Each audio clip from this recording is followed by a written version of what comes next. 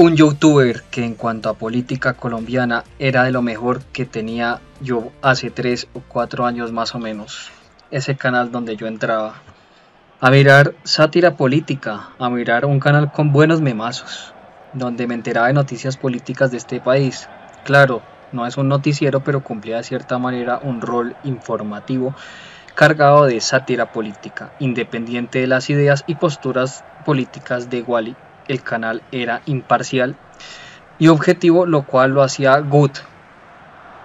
Claro, eh, un canal imparcial y objetivo, pero que a la vez quería, tenía como esa idea de un cambio para el país, un cambio que queríamos o que queremos actualmente. Y pues que eso nos atrajo, ¿no?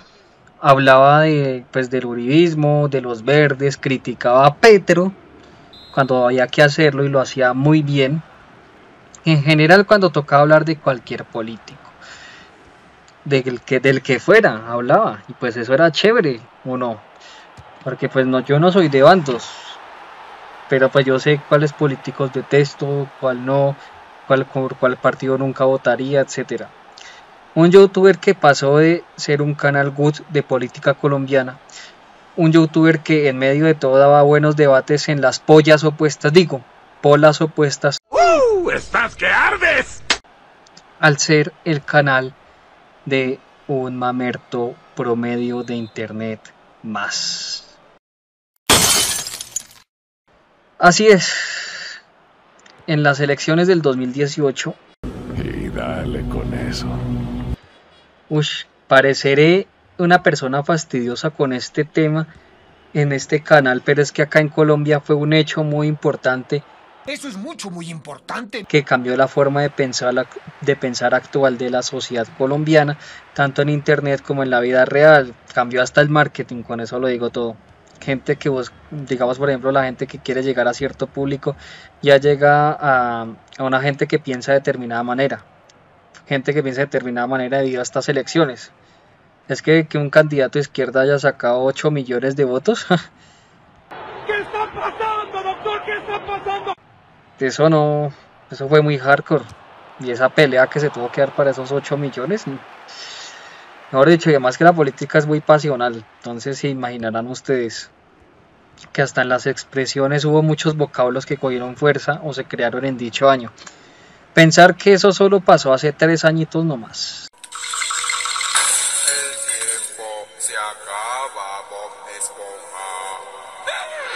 Que se sienten tan recientes. Yo lo siento como si fuera ayer esos tres años. Más que el 2020 y el 2021 se han pasado muy rápido por, aunque ya podemos salir un poco más, pero pues la pandemia y el encierro hicieron que todo esto se pasara y como que no hubiera, no sé si no se sintiera el cambio de un año a otro, ¿no? En el caso de Igual todo comenzó cuando él decidió apoyar a Petro en las elecciones de dicho año. Pues normal, hay que ser realistas. En ese momento era el mejor candidato y el único que tenía posibilidades contra Duque. La verdad, las cosas como son. Era Petro, no había de otra. Más que en esos momentos no salía con propuestas tan descabelladas como la desde la impresora. Tal vez sea estúpido, pero también es tonto. Si bien a rato salía con utopías, eran políticas más pasables. Y normal, pues, el man lo, que el man lo haya apoyado en ese momento no quiere decir que en ese momento se haya vuelto petrista o cosas, o cosas así, tal cual. En ese video que no es del canal, pero igual es un video que yo no sé en qué canal está, creo que es el de las pollas opuestas, dice que, que Petro era la mejor opción y que se alía con él, dadas las condiciones que se encuentra el país, que no había otro, entonces le va a dar el apoyo. Eso me pareció bien, por el momento dije, mm, yo tuve un objetivo que a la vez quería un cambio, pues hombre, uno se sentía re bien. Pero a él le pasó como lo que le pasó al programa La Tele Letal, que yo subí un video al respecto que se llama Analizando el programa la tele letal. Al poco tiempo Wally pasó de ser ese buen canal que era de subir, eh, que era un buen canal de subir videos objetivos, al de ahora que es subir videos de mierda como los que voy a mostrar.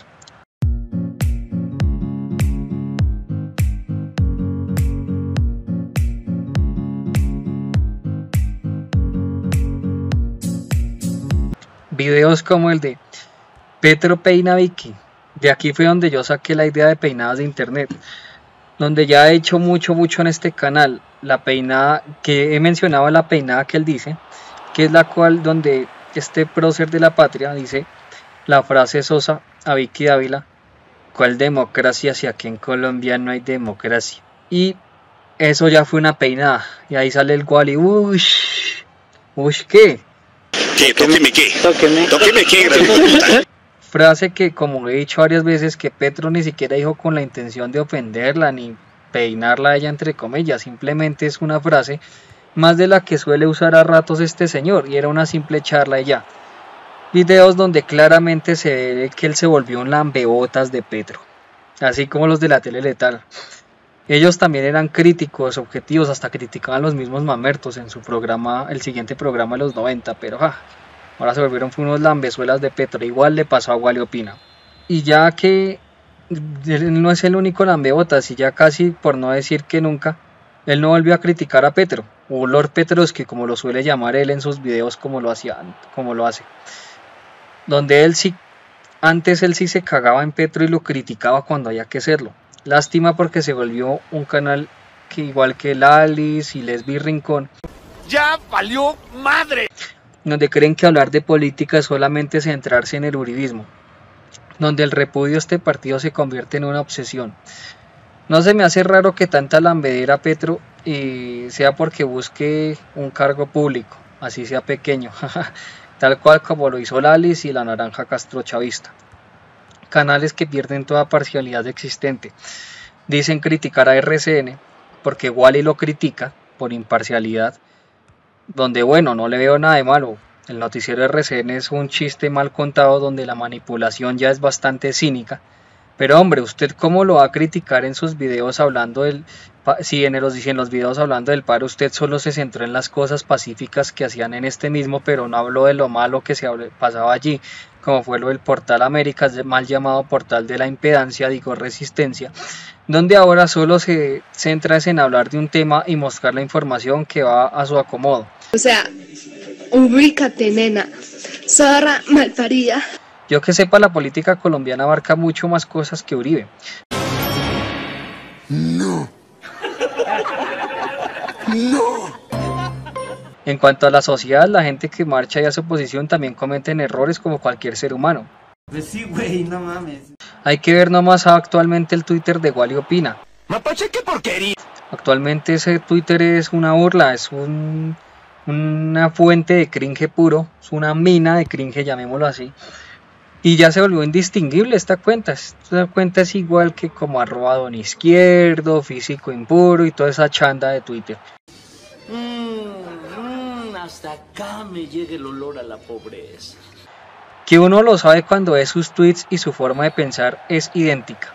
Y sus tweets se vuelven son copy-paste de mamertos. Lo mismo que dice todo el mamerto de internet, es lo que hace es un copy-paste y lo pega ya. Se vuelve, se vuelve muy predecible. Se sabe eh, el grado tan crítico de su decadencia cuando tú como espectador estás en la capacidad de predecir qué va a tuitear él o qué tipo de opinión va a dar en YouTube. Ahora tengo el poder absoluto y me la pela. Un claro ejemplo es con lo de EPA Colombia. Nosotros sabíamos, predecíamos que al momento de que vimos esa noticia de que ella se grabó con Uribe, el mamerto iba a salir diciendo cosas como que EPA los traicionó, que se les cayó un héroe, que no sé qué más vainas. Ahora veamos que es cierto lo que digo, que Wallis se volvió igual de predecible a ellos.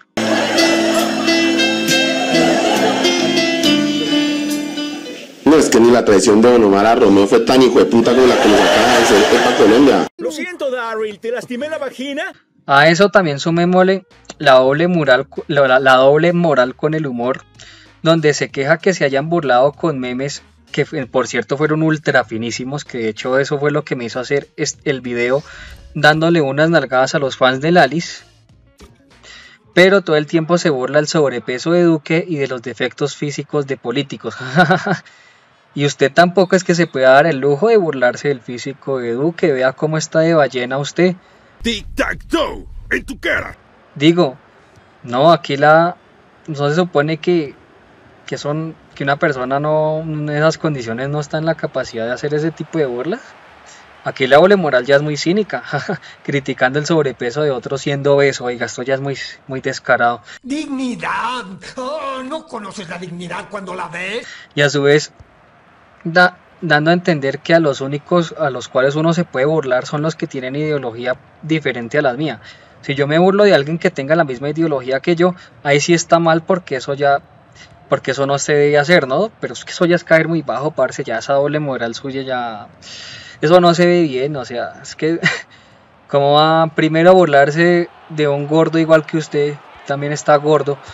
Y segundo que, ay no, que porque la Ale se ve mal, que porque es mujer y piensa igual que yo, porque pues yo burlaba de Marta Lucía Ramírez y todo, pero pues como, ahí sí, como no piensan igual que yo lo que sea, pues independientemente de lo que sea, si usted va a aplicar esta doble moral, usted no puede acudir a ese humor para burlarse de los políticos. Si usted se va a burlar de políticos, usted también se tiene que asumir que se pueden burlar de gente que piensa igual que usted y tomarlo con total naturalidad. Así soy yo, yo me burlo de absolutamente todo el mundo, por eso soy un dios, por eso es que yo puedo burlarme de Duque, burlarme de Petro, burlarme de que se me dé la gana, por eso mi humor es más abierto. ¿Vieron eso? Eso es ser bárbaro. Hablando en serio, sí, yo me burlo de lo que sea, pero y tampoco cuando de pronto haya algo que no me guste, pues no voy a salir a arenearme ni nada de eso, porque pues eh, eso sería muy doble moral. O sea, cuando uno se burla de alguien, también tiene que saber que se van a burlar de uno y de la gente que piensa igual a uno y que uno lo debe asumir con madurez. Es que uno no tiene derecho a chistar, yo no puedo darme el lujo de chistar por algo así. Una cosa es el, los memes y eso, ya otra cosa es ir a lo personal. Y pues bueno, eh, lo que digo, no, no, no está en la moral de hacer eso, hermano.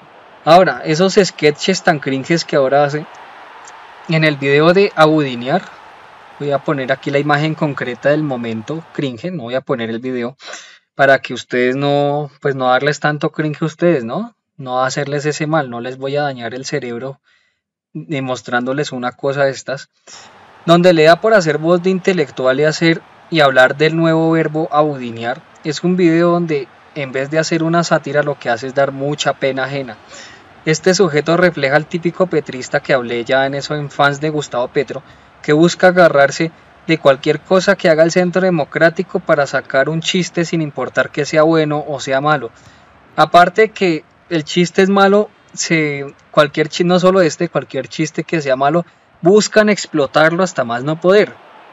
Tal cual con este caso de abudinear. Y bueno, hubiera hecho un sketch chistoso, yo digo, bueno, las cosas como son, fue chistoso, pero no. Aquí se le ve el afán de hacer un chiste sobre ese tema solo porque es viral, donde el afán por hacer viral este chiste solo llega la vergüenza ajena. Es que este es que ya mucha vergüenza, en serio uno lo mira y haciendo esa voz y jiji, que yo no sé qué. En serio que eso ya es hacer mucho el ridículo. Y otro es que es donde Duque habla en inglés. Entonces este tipejo también le da por hacer una intro satirizándolo a él, chapoteando el inglés de manera satírica, donde es, es que no da ni puta gracia. ¡Uf, men! ¡Qué mal momo! ¡Bórralo, Plugs! ¡Bórralo, hijo de tu puta madre! Se le ve el esfuerzo por sacar algo chistoso de una situación que no lo es a tal punto donde ya no le importa perder su dignidad. Pobre cosita fea. Donde el buen humor y los buenos memazos y el buen humor político que había en este canal se degradó, se dañó y se convirtió en sketches de tres pesos no quiere decir que es que haga solo sketches, no, metes estos sketches en alguno de sus videos, en alguna parte, pero dañó mucho su calidad de videos, hay que decirlo. Ya es el afán de ser un mamerto tan común y corriente que en su afán de satanizar a las fuerzas militares, que ojo, han perdido reputación porque pues sí se lo merecen, pero este sujeto sale con cosas como que los militares son malos porque siguen las órdenes de innombrables.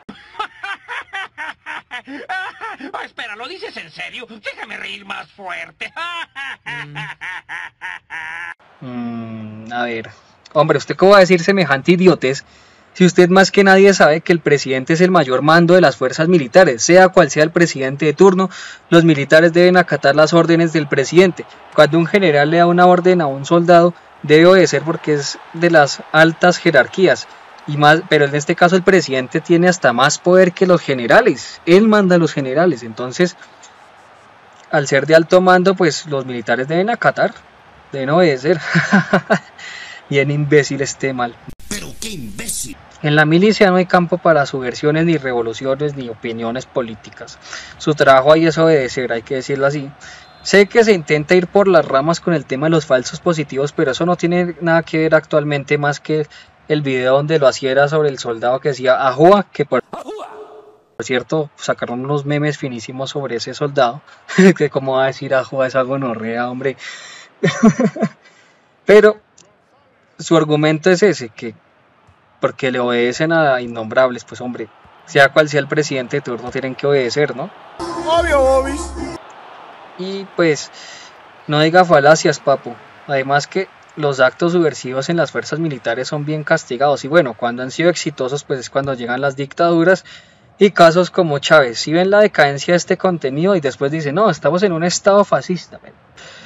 Hombre, si apoyan que los militares sean subversivos, pues sí puede haber un fascismo o no, porque se contradicen, hombre, y usted es una persona estudiada, fuera que verá como por lo menos Levi Rincón, que a duras penas tiene, eh, medio tiene un bachillerato, y eh, sin terminar ni nada, pues uno dice, bueno, uno comprende que cometan este tipo de errores, pero es que usted es un abogado.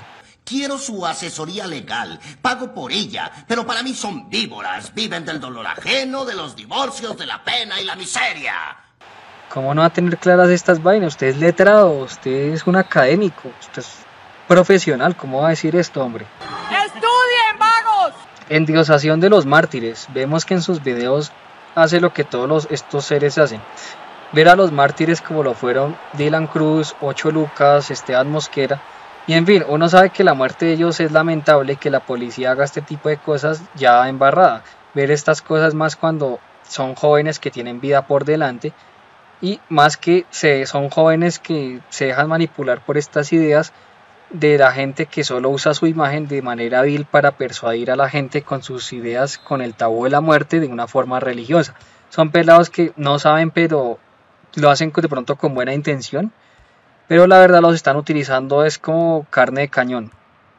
Y esto es lo que hace este sujeto en sus videos. No digo que los use como carne de cañón, pero sí los ve a ellos como si fueran héroes. ¿Qué mártir es diferente de héroes, sí? ¡Ay, cabrón! Es como los que dicen que Tommy 11 fue un héroe. Pss, por favor. Sí, fue un caso lamentable que yo subí un video a Dailymotion hablando de eso, pero eso no quiere decir que porque una persona tenga una enfermedad o sea o, o se haya muerto quiere decir que sea un héroe. Y eso es lo que le hace ver a, a estos personajes que mencioné como héroes. Y además Súmele a esto que cuando habla cualquiera de estos fallecidos, a él le da por citar tweets de Gustavo Bolívar. Un sujeto que usa estas muertes para beneficio propio y ganar adeptos para su partido, ganar likes y retweets no más. A él se la suda la muerte de ellos completamente. Ese tipo ve las noticias de esos muertos y, ay, qué chévere, ya voy a poder ganar más retweets. Se emociona y todo ahí mientras está ahí en su tina de burbujas. ¡Eres un monstruo! Un sujeto que se da de cierta que de cierta forma alborotó el mierdero del paro haciéndose haciendo haciendo cómplice de cierta manera de dichas muertes en manifestaciones ya que alienta a la gente a hacer estas cosas a de Gustavo Bolívar. Hombre igual y sea serio me gonorrea me al menos si va a subir un video hablando de ellos tenga la bondad de no poner como referente a la gente que usa la muerte de ellos como beneficio propio como Gustavo Bolívar Hágalo al menos si siente algo de respeto por los muertos que supuestamente dice tanto usted que le duelen, en serio. No ponga tweets de Gustavo Bolívar y eso, de su opinión, de eso, pero no se ponga ya a citar a gente que solo utiliza la muerte para beneficio propio, que hasta se alegrarán porque eso les da ranking en estadísticas y toda esa vaina. Y bueno, la, pues, la verdad podría seguir analizando la decadencia de su contenido, pero la verdad sería una crítica más de las que le, he hecho siempre a los mamertos y pues solo quería ver cómo un youtuber que era bueno, que era bueno, era bueno ese youtuber, puede dañar tanto su contenido con tal de lamberle a políticos. Entonces si llegaste hasta aquí eres un crack, muchas gracias por verme, si te gustó el video por favor deja tu buen like, eh, activa la campanita de notificaciones, suscríbete al canal, comenta el video, sígueme en mis redes sociales y las dejo en la descripción y nos vemos hasta el próximo video. Muchas gracias, que será muy pronto.